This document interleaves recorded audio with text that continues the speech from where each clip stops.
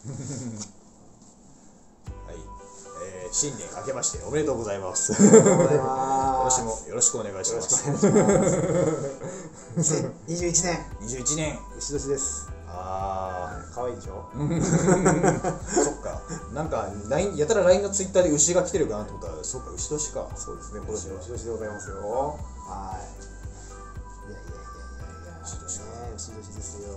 うん。まあ去年はね大変な年でしたけれども。今年はねちょっといい年にしたいですね。いや、正直去年も僕いい年だったけど。ね。お 前あのもちろんあのいろいろそのなんだ大変ではあったん。だけど、ごめんねなんか電話が来た。電話電話来た。どうしよう。一回ちょっと。いいよいいよいいよ。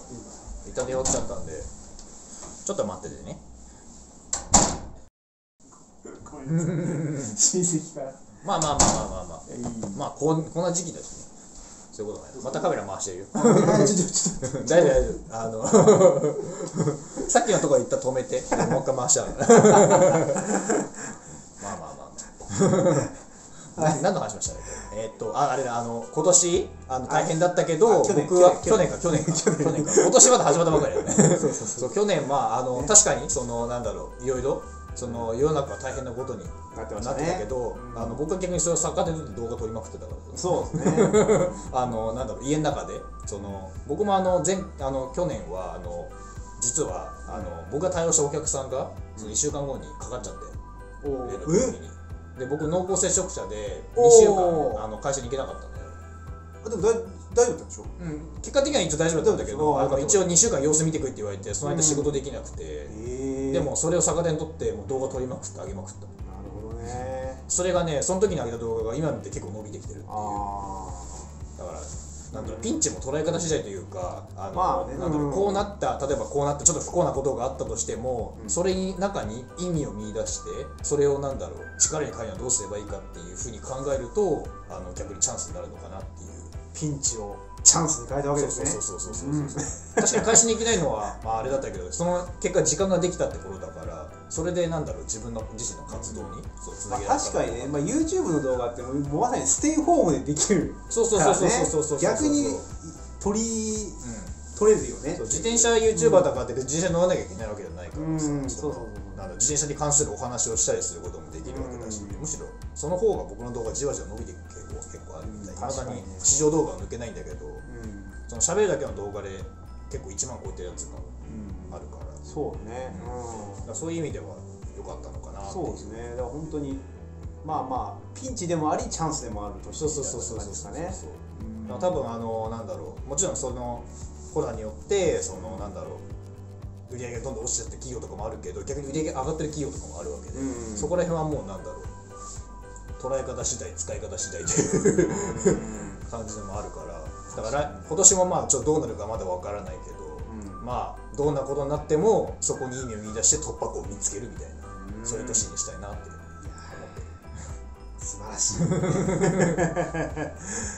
ね。まああの私もねあのまあ、自分のところのサイクリングとも、まあ去年ね始めて、うんまあまあまあすげえ年に始めてしまったなっていう感じではあるんですけれどもそうだね。まあまあまあでもね一応今のところもね続けてやっていってますし、うん、まあまあじわじわとまあねや伸びていってる感じではあるのでまあ今後ともね頑張っていきたいなと思っております。はい。ね。えうん。そんな感じかな。とりあえずまあ、うん、でもやっぱリータルさんとはなんだろう？単純になんだろう？そのサイクリンググッドとしてだけじゃなく、普通に個人的に僕の動画にも協力してくれてるのでそうですね。で、まあなんだろうあのいろんななんだろうこうしたいああしたいっていうのを結構企画するのがすごいうまいんで僕はそれに結構乗乗ってるっていうところもあったりしてそう。ねえ。なんかどういう企画を今年はやりたいとかなんかありますか？そうね。とりあえず市場動画はまあ継続してやりたいっていうのはあるんそうね。やっぱそれはね。柱ですからね。そうそうそうそう。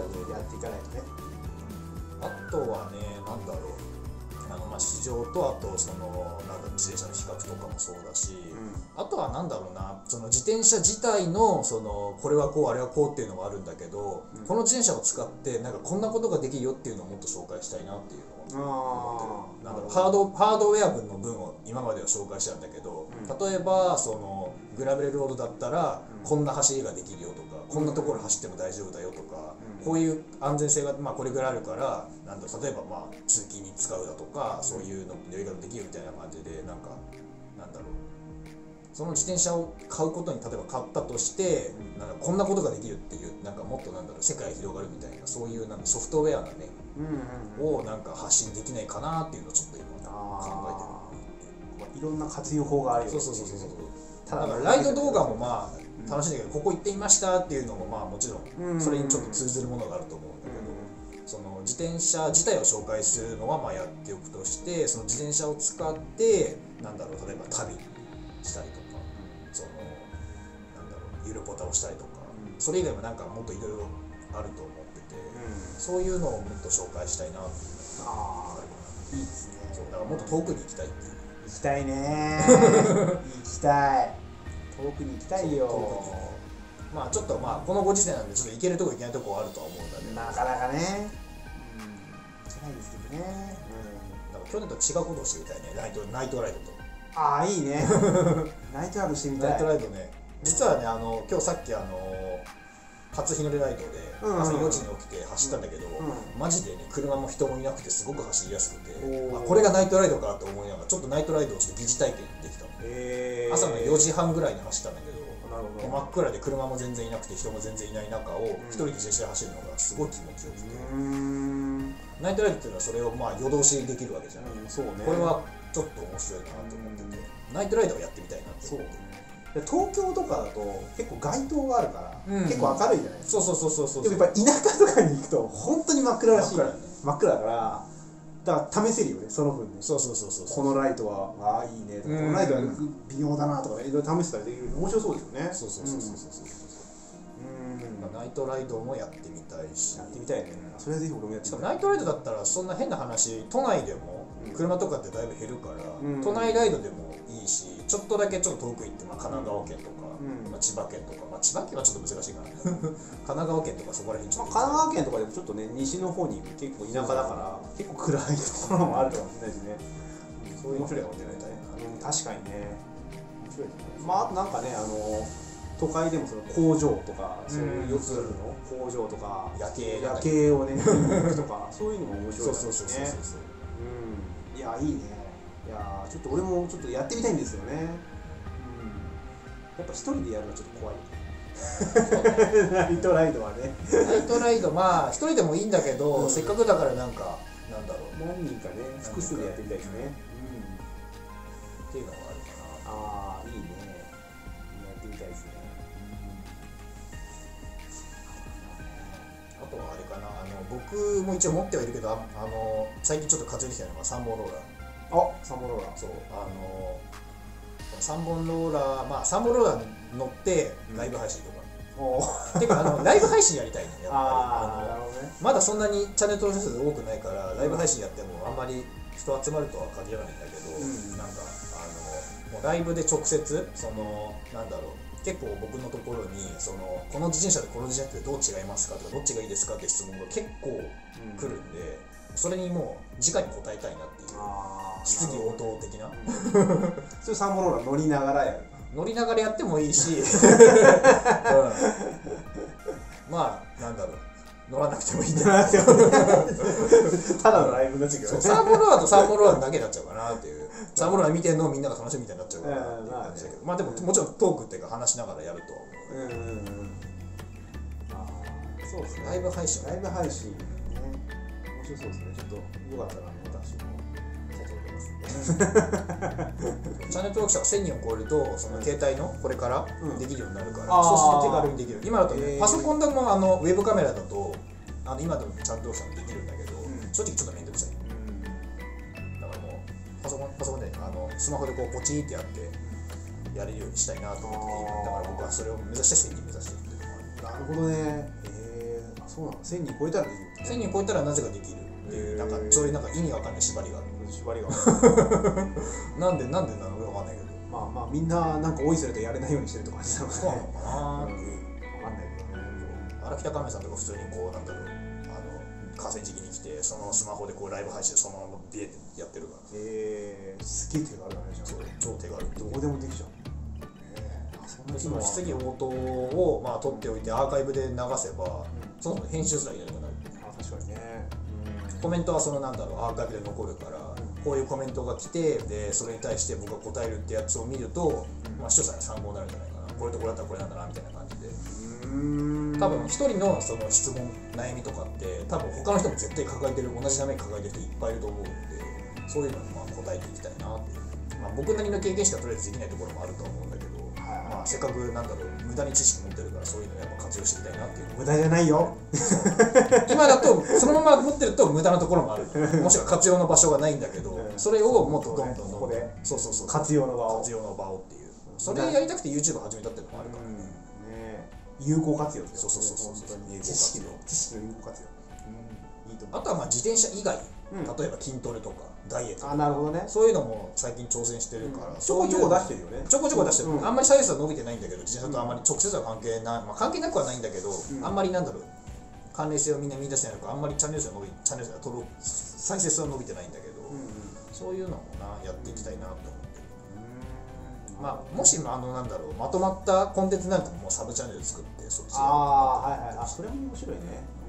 自転車は自転車で筋トレは筋トレダイエットは筋トレダイエットみたいな感じで、いやダイエットもね結構みんなね興味あると思いますね。ね。少なくともあのなんだろうまあライバルもいっぱいいるという言い方もできるんだけど多分自転車のゾーンに比べたらダイエットをしたいユーザーの方がめちゃめちゃいっぱいいると思うんでね。ねもちろんそれを上げてる人もももちろんいっぱいいるっていうのもあるんだけどうん。そこにまあなんだろう風穴上げてもいいかなってちょっと思ったりとか。いや面白いと思う YouTube だとあんまりなんだろう違うことをやりすぎると、なんだろうこのチャンネル何が言いたいのか分かんないって登録者が離れていっちゃうんであんまりなんだろうその自転車は自転車みたいな感じで結構やった方がよくて。だから最初はまあ自転車に関係するとか自転車に有効活用できる風にまあなんだろう紹介してって、まあ、本当に独立してるな紹介できるんだったらまあサブチャンネルかな、うん。確かに。いやいいと思います。健太さんもチャンネル3つぐらい持ってるからまあまあでもねチャンネル登録者数も間もなく900ですか。もうちょっとで900 900だね。いやもう1000もいよいよもう手に届く本当はね今年中に行きたかった今年で去年中に行きたかったんだけどちょっと無理だったから、まあまあまあまあでももうでも今年はもうね確実に行くでしょ。今年はこのまま行けば、ねチャンネルがバンされたりしなければそう YouTube わからないからね。ね今のところそんなになんかすごいなんかやばい動画とかは出してないから大丈夫だとは思うんだね。え 特にないと思うけどな。今のところね、うん。うん、今のところ大丈夫だと思うんだけど、うんそんな健全なねうチャンネルだと俺は思うよ、うん、延長するものはないと思うけどね。とりあえずね。ね。うん。いやいやいやそうだよね。だからまあまあもう今年の4月ぐらいにはいけんじゃないですかね。ん、まあ行ってほしいなって思ってる、うん。まあ、僕の動画を、ねその更新する頻度とかにもまあいろいろと思う、まあ、春春頃には行って、ででライブもね始められるから。いやーこれはね2021年楽しみですね。うん。本当にうん。いやーいいね。もう私もねアシスタントになったんでみんなもう忘れてると思うけど。うん、忘れてない。忘れてない。忘れてないなんでねあのちょっとねちょこちょこアシストしていきます。はい。ね。いやとりあえず新年迎えるためのまあ感謝してって感じかな。はい何事もなかったんで去年特に。ーね重い病気にかかることもなく大きな怪我をすることもなくここまで来れたので、うんまあそこら辺はまあなんだろう 考えつつもっともっと挑戦していきたいなと思います。はい 頑張りましょうはい。とりあえずこれはこんな感じでいいかな。この後ちょっとなんかサンボローで遊ぼうかなと思って。ちょっとやってみようと思っておりますはいというわけで以上、えー、新年のご挨拶と今年の抱負について語らせていただきました。はい。えーとそれでは、えー、以上太陽と、えー、アシスタントの山形凛太郎でした。はい。それでは、えー、次回の動画もお楽しみに。はい。バイバイ。じゃあねー